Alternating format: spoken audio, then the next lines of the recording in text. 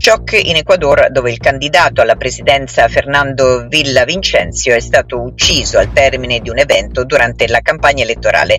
Giornalista politico è stato raggiunto da diversi colpi d'arma da fuoco all'uscita di una scuola in un quartiere settentrionale della capitale.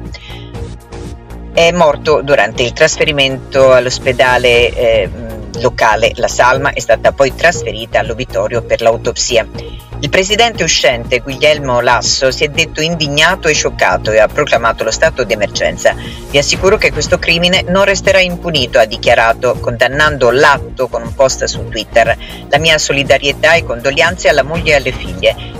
Per rispetto alla sua memoria e alle sue battaglie, vi assicuro che questo crimine non resterà impunito. Sei arresti e una vittima, si tratterebbe del sospetto killer del candidato. La Procura Generale ecuadoriana ha fatto sapere che sei persone sono state arrestate e sospettate di essere coinvolte nell'attentato, nove i feriti, tra cui un'altra candidata e due poliziotti. Ma chi era Fernando Villavicencio, ex deputato, giornalista molto noto nel paese, era uno degli otto candidati alle presidenziali in Ecuador nel prossimo 20 agosto.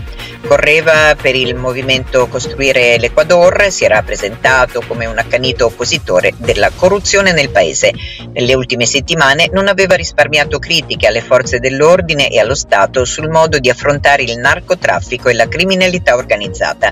Aveva denunciato presunte collusioni fra potere e bande criminali, ricevendo in cambio pesanti minacce dai rappresentanti di alcune organizzazioni dedite al narcotraffico. Go.